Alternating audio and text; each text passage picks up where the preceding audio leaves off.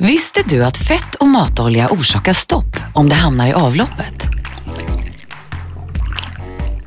Med miljötratten samlar du in matoljan så slipper den hamna på fel ställe. Det är enkelt. Du skruvar på miljötratten på en vanlig flaska och sparar korken i trattlocket. Oljan häller du i tratten och ner i flaskan. Är det bara lite fett kvar i pannan så torkar du ur den med ett papper. Även olja från till exempel tonfiskburken hör hemma här. När flaskan är full tar du av tratten och skruvar på den på nästa flaska. Flaskan lämnar du sen på din återvinningscentral.